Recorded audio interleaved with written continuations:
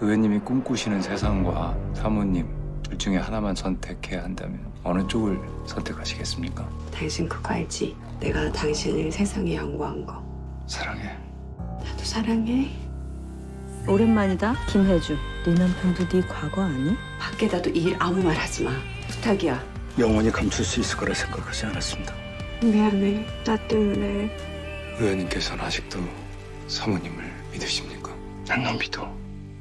왜냐면 너니까.